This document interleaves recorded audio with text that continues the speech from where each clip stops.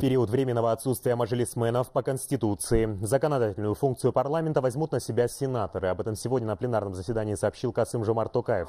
Напомню, накануне президент подписал указ о распуске Мажилиса. По словам Токаева, решение президента даст новый импульс для реализации масштабных реформ главы государства. Поэтому политические партии должны получить новый мандат доверия от избирателей.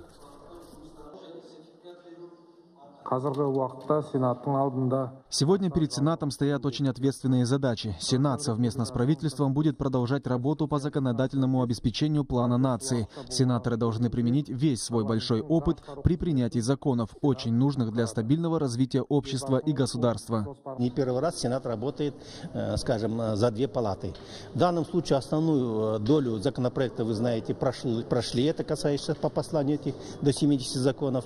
Поэтому то, что у них осталось, это будет идти своим чередом. Какие будут объявлены срочными и так далее, мы их рассмотрим в первоочередном порядке, а какие будут по графику, мы их рассмотрим по графику.